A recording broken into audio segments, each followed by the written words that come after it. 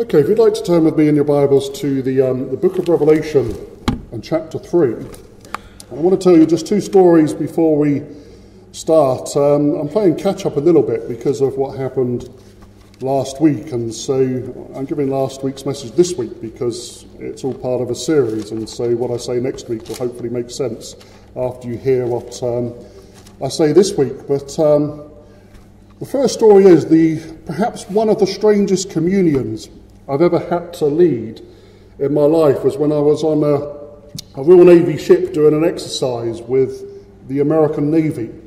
And you had some Navy SEALs who uh, just come back from an exercise and they had a couple of hours off and they were going back to do another exercise.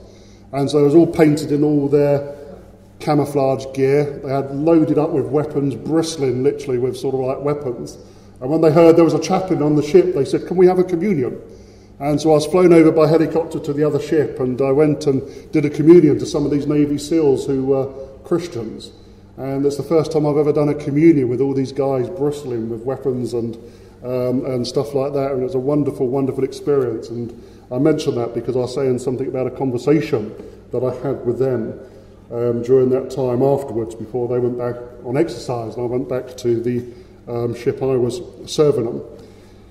The second story you may have heard or read in the news just recently that apparently some schools, I don't know if it's been rolled out nationwide now, whether it's official policy or just some schools, but um, in sports days there's no winners or losers now. Everybody's a winner. If you take part, you're now a winner. Apparently that's supposed to be official policies. Isn't it interesting they don't apply the same principles to the Olympics? Nobody's going to get a medal. You all get a gold medal because you're all winners and so forth. And we could say the same with Premiership football and so forth. It would be absolutely ludicrous to say that. What's the point of competing if everybody's a, a winner? It's the same with the Christian life. If you think when the Apostle Paul says that we run the race to win the prize, he says we need to unhinder ourselves from everything that will stop us running the race as efficiently and as swiftly as we can so that we can do those things Christ calls us to do and be the people he calls us to be. Before I read this passage, I just want to give um, just some things that I've discovered during my Christian life and that some of you have also discovered as well, which is why I'm asking you to give testimonies. Um, you know, please do, if you want to give one next week, please do come and tell me. And um, just come and share whatever's on your, your heart. It'll be wonderful to do that. But one of the things I've discovered, it's better to be known for what we stand for than what we stand against. I don't want people in this town and community to know, oh, the church is against this, against that. I'd rather them to be able to say, we know the church is for this, that we're for faith, for hope, and charity, and not just a project in general, that we're a people of faith, that we want to proclaim Christ. We're a people of hope, that we believe that the Christian message teaches us hope for this life as well as beyond it, and we're a people of charity, that we generally want to help those people in our community who need it. Isn't it be better to be known for that, to be known for the things we stand for, rather than the things we stand against? The second thing is that God is always speaking, but his people do not always listen. That's one of the things I've discovered in the Christian life, and it's important at this time for every church in the world at this time to listen to what the Holy Spirit is saying. Another thing I've learned, and I'll be saying a bit more about these in a, in a short while, but a person or a church is what they do, not what they say they will do. In other words, we as people, we are what we do, not simply what we say we will do. And churches are so good at saying what they will do and never do it. We need to be a people who do what we say we will do. Another thing I've discovered is that you do not have to be perfect for God to use you. Thank goodness for that. I'd be the first to go and sit down in the front pew there. And so I can't do anything, Lord, if you want us to be perfect. You do not have to be perfect for God to use you. Nobody makes a bigger mistake than the person who does nothing because they thought they could only do a little. That's all God asks us to do. If all we can do is a little for Him, that's enough. That's all we need to do. You don't have to be perfect for God to use you. We don't have to be perfect for God to use us. Another thing I've discovered is obey God and leave the consequences of your obedience to Him. You can't serve God if you have fear of people as the dominant factor in your heart and mind. We've got to do what God tells us to do and leave the consequences of our obedience to Him. You can never please everybody, but you don't have to. As long as you're doing what God calls you to do and to please in Him, that's what truly counts in life. The final thing, not the final thing I've learned, it'd be a shame if all I've learned is seven things in the Christian life, but the final thing I'm going to share with you this morning before we look at this passage is when you think things are going well, it's probably because you're not aware of all the facts. Just like last week when we thought the service was going well and we wasn't aware of what was happening out at the back. But I'm going to read this um, passage and you'll probably, some of the things I will say this morning with this passage and also the passage next week about turning the other cheek, it will surprise you because it doesn't mean what you think it means. Okay, turning the other cheek and those things are where Christ is teaching us how to maintain our dignity in an oppressive situation. And we'll talk about the different types of love because love is not an emotion. In our Western society, when Christ told us to love people, because we've only got one word for love, we relate it to emotions and think, oh, everybody we meet, we've got to be this gushing, soft, emotional person. That's not what it's talking about. Love is a frame of mind, it's actually a, a way of action.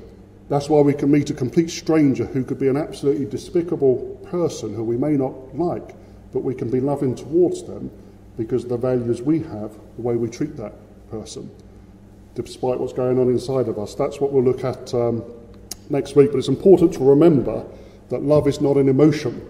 And this week, the title of the message is What Sort of Church Did Jesus Die For?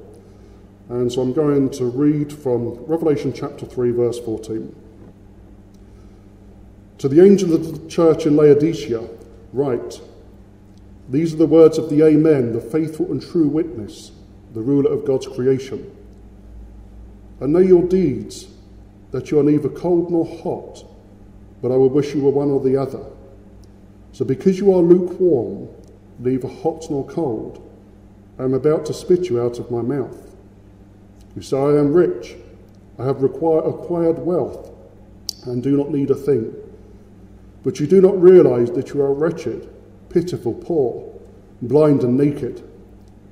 I counsel you to buy from me gold refined in the fire, so that you can become rich, and white clothes to wear, so that you can cover your shameful nakedness and salve to put on your eyes, so that you can see. Those whom I love I rebuke and discipline, so be earnest and repent. Here I am, I stand at the door and knock. If anyone hears my voice and opens the door, I will come in and eat with him, and he with me. To him who overcomes, I will give the right to sit with me on my throne, just as I overcame and sat down with my Father on his throne. He who has an ear, let him hear what the Spirit says to the churches. Now, as a theologian and a minister, I often smile and sometimes maybe even blush a little bit when I hear this passage spoken about by some people who totally misinterpret it. People will take it in the abstract. We need to be on fire for God. We need to pray more, do more, do more. It's an abstract thing where it's telling us to or the preacher may say, we need to be doing more of this to prove that we're on fire for God. That's actually not what the passage is saying at all, as I will actually explain in the short time that we have. But let me ask this question What brought an end to some of the great societies that built some of the wonders of the world? Just think about that. Angkor Wat, the imposing Mayan temples, or the majestic Easter Island what brought an end to some of these incredible societies that built such fantastic monuments? They all invested vast resources of time, people, and materials, yet each vanished, leaving behind them little more than haunting remains of lost greatness. The same question could be asked what brought about an end to some of the great churches or denominations that changed the course of history? When you think about it, when you look at some of the denominations, that some are even vanishing now in our own day and age, and some that have already gone, what happened to some of the great churches or denominations that changed the course of history?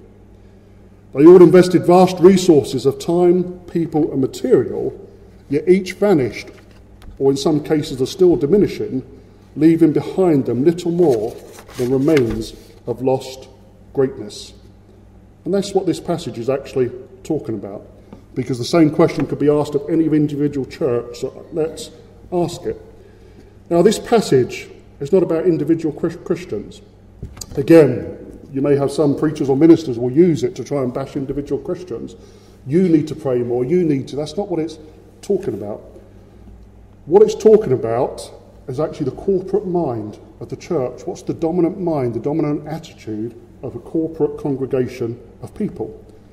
Because in my experience, most individual Christians I know are doing their best to serve God within the limits of their knowledge and ability as best as they can. Most Christians are seeking to do everything they possibly can do. That's my experience in years of ministry, that most Christians are doing whatever they can do. And so, what's the point of a minister trying to say, well, do more to be on fire for God, be more active, be more active? That's totally not what this passage is actually talking about. I've also seen that many a Christian, both minister and layperson, suffers from emotional or mental suppurating wounds inflicted by barbs of criticism. That's why I make sure I emphasise that, that this passage is not about, it's not criticising the individual Christian, it's talking about the corporate mind of the church. Because as Christians, we do not, nor should not, seek to live our Christian lives alone. We walk with Christ in fellowship with other people, but each one of us is different. Thank God we're not all the same. All of us, we have different backgrounds, different history, different story. As a minister, you get to hear my story. This morning we heard Steve's story. We hope to hear some of your stories over the next few weeks, just to what Christ is doing in your um, lives. Yet we are called to pursue a shared mission of witnessing to the power of Christ and his ability to change people's lives for the better. So, people with different emotions, different stories, different backgrounds are called to come together to witness for Christ and to join together to do his work. And that's what this passage is actually talking about. And Jesus was an emotional person.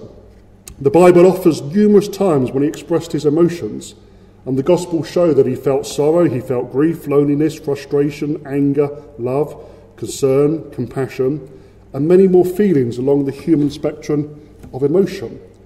And Christ knows what we feel because he has felt exactly the same emotions. So, whatever we feel as humans, he's been through that. Emotions are good, Emotions are our friends. Emotions are a sign of strength, not weakness, and emotions are to be encouraged. But we would all agree there's a time and a place for them. They cannot be the ruling force of anybody's life. As unchecked emotions, as well as having positive value, can be incredibly destructive.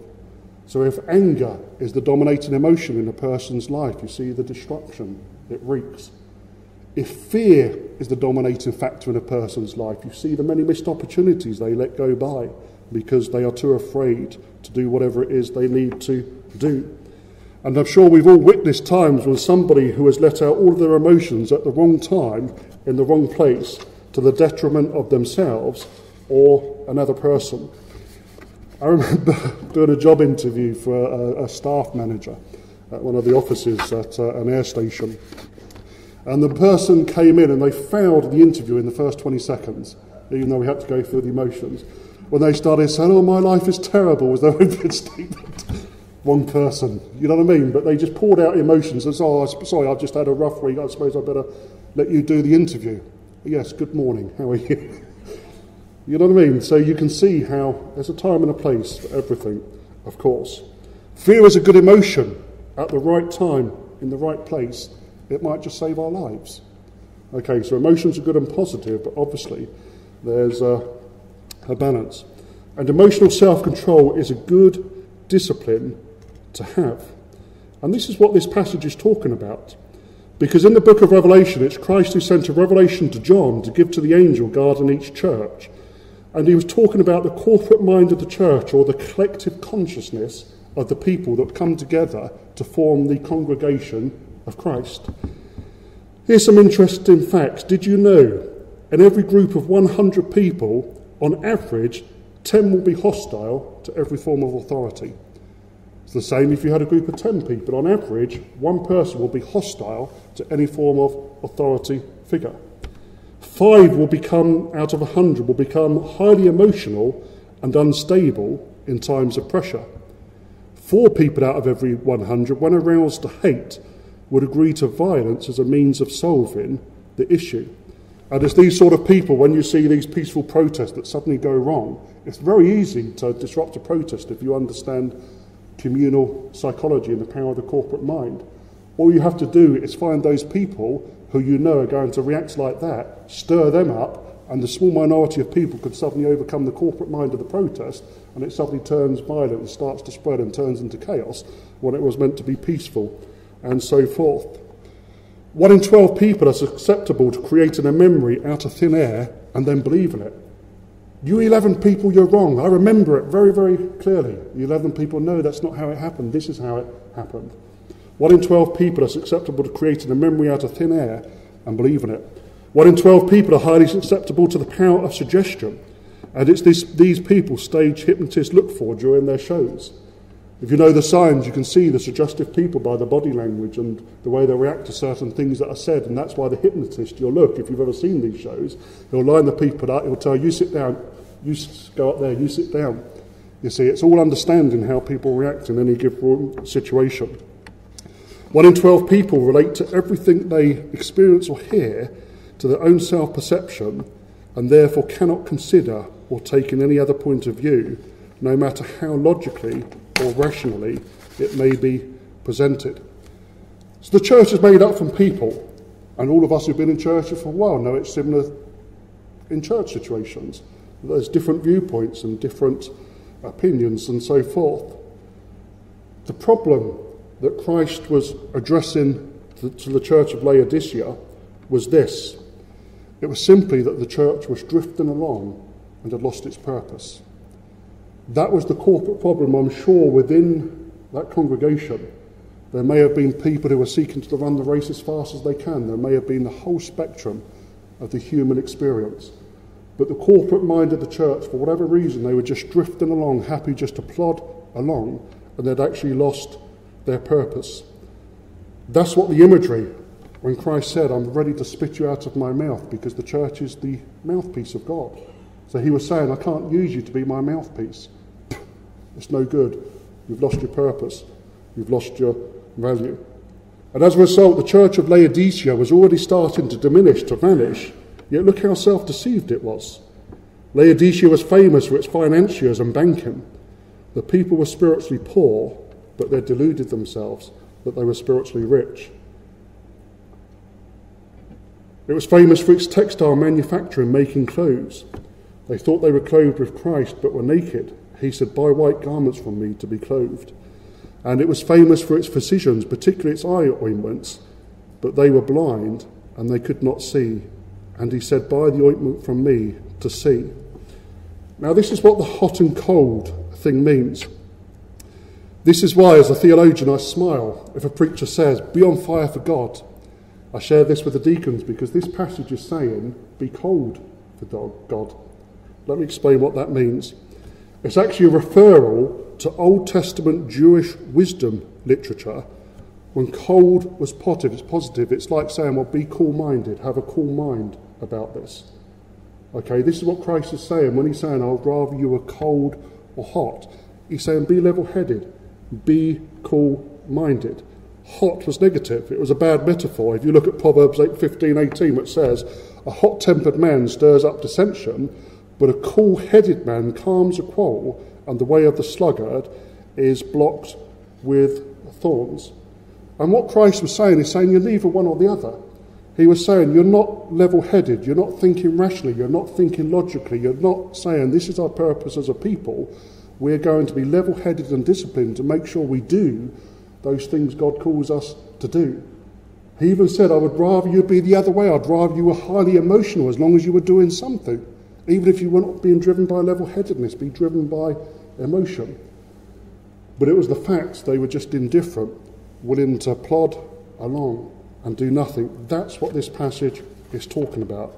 It's talking about that corporate mind that has to be challenged rather than just allowing us to plod along and forget the purpose of why we are here.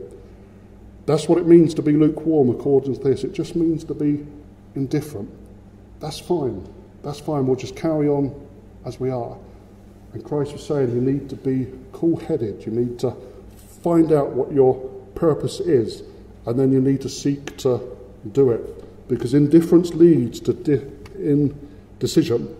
And also, the lukewarm metaphor also refers to the hard water that um, used to come from the springs, carried along the aqueducts to the Roman baths. And by the time it got to the baths, it was hot when it came out. By the time it got to the baths, it was lukewarm. And so the Romans would either heat it or they would cool it. In their baths, they would actually heat it up so you could go into like the hot spring, or they would cool it down so you could go into the cool bath. So it's also the lukewarm was that it was not fit for purpose by the time it came there, so they had to change it. That's what Christ is saying to this church here.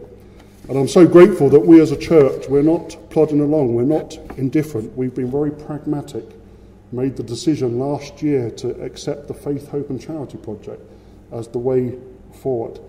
And we're going to see great things happen. But let me close by saying this about the Navy SEALs. I told you that story.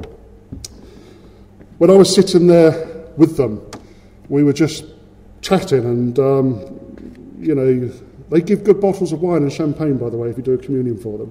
They went to their mess bar and they said, I'll take this back to the uh, wardroom, all these bottles of champagne. So getting back on a helicopter with a case of champagne after a communion was quite, a, was quite an experience. And the guys on my ship were very happy when I gave that to the wardroom. But they were speaking and they were telling me about their motto. And so they gave me a copy of their motto and I've changed it a bit. That I think it's a good motto for kind of churches to have. So this is based, what I say now in closing is based on the Navy SEALs motto. My loyalty to my God and church is beyond reproach. I humbly serve as a guardian to my fellow Christians, always ready to support and defend the gospel and God's people. I will serve with honour with my calling on and off the battlefield. The ability to control my emotions and my actions, regardless of circumstances, sets me apart from other people. Uncompromising integrity is my standard. My character and honour will be steadfast. My word will be my bond. I lead by example in all situations. I will never quit. I will preserve and thrive on adversity. If knocked down, I will get back up every single time. I will draw on every remaining ounce of my strength to accomplish my mission. I am never out of the fight. I practice discipline. I live by innovation. The success of my mission depends upon me as well as my God. My technical skill, my tactical proficiency, and attention to detail, my training and knowledge is never complete. I stand ready to rely upon the full spectrum of God's power and promises in order to achieve my mission and the goals established by my God. The execution of my duties will be guided by the very principles that I seek to proclaim. Brave men and women have fought and died building the church and keeping the gospel alive so that I could hear it, and that now I am trusted to proclaim to my generation.